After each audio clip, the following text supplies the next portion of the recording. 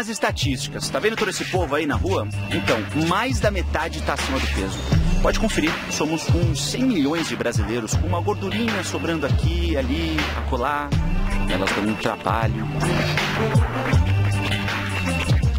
Eu não me sinto no peso ideal, obviamente, eu não estou no peso ideal, né? Tem reclamações da mulher, dos filhos, então tudo, né? As roupas não entram, é, os lugares você não cabe. Você poder pegar e não dar uma volta com eles num shopping, num parque, você se cansa, você para. Parece que a vida simplesmente te exclui.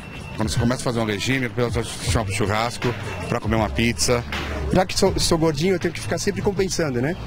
Eu tenho que ser um amigo legal, eu tenho que ser um amigo prestativo, eu tenho que ser um amigo que tá legal para todas as horas, né? E isso cansa demais, né? É, deve cansar mesmo. Tanto que esse é o tamanho da vontade de emagrecer.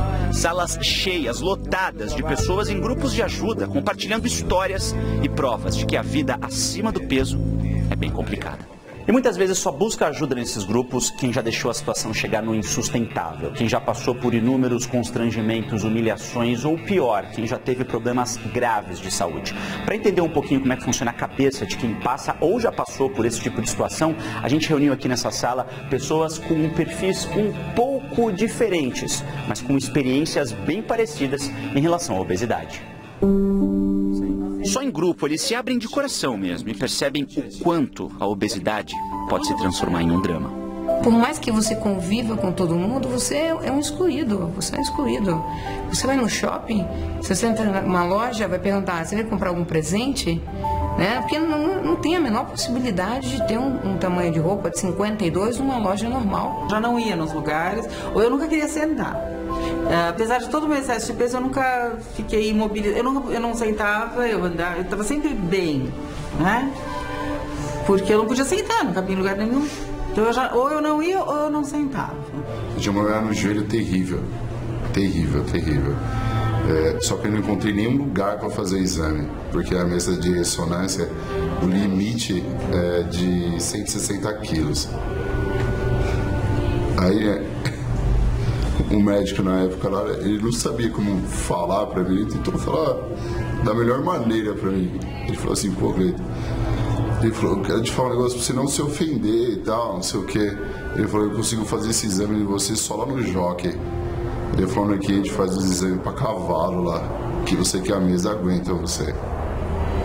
Esse foi o maior baque que na vida. Nunca uma pessoa na rua me falou, ah, falou qualquer coisa. Eu nunca fui agredida uh, explicitamente, mas de uma maneira subliminar sempre, porque o olhar é muito cruel. E eu não sei se as pessoas sabem ou não sabem, mas o olhar é muito cruel, né? Tem aquela aquela coisa, aquela medida assim, né, de cima embaixo, que a gente tem que ter um, né? Tem que segurar a onda. Eram as desculpas que você vai inventar.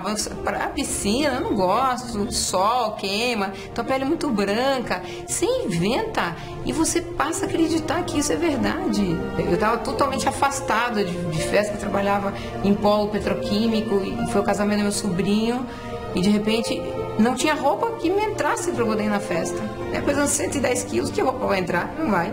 Coloquei um salto que era uma coisa ridícula. Eu não aguentei ficar na festa porque não aguentava ficar em pé, tive que ir embora, não pude ficar na festa. Né? Então, assim, talvez a, gente às vezes precisa passar por uma coisa, é um marco assim que me diz cheguei ao limite, cheguei ao fundo do poço, tenho que tomar uma atitude, o que eu faço é o que eu faço. Encontra forças em quem sofre com as mesmas dificuldades.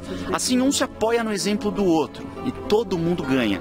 Quer dizer, perde junto. A identificação no grupo é muito grande. Todo mundo está igual, é igual, com os mesmos problemas.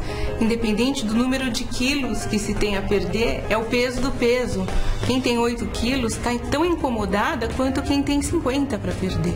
Quando você se depara com um grupo que, tem, que mostra, que deixa claro que apesar desse impacto há uma perspectiva de mudança, isso faz toda a diferença. No primeiro dia eu achei que não era possível também. É, eu falei, nossa, eu tava com 200 quilos. Eu falei, não, não tem jeito mais, né? E tem. Aí na primeira semana do tratamento, é, eu cheguei a perder 8 quilos na primeira semana. E aí veio uma sequência de coisas na minha vida que foi indo, foi indo, foi indo, foi indo, foi indo. E hoje eu cheguei depois de quatro meses aí com 51 quilos que eu perdi. Hoje você gosta de praia? Ah, eu adoro praia, adoro piscina.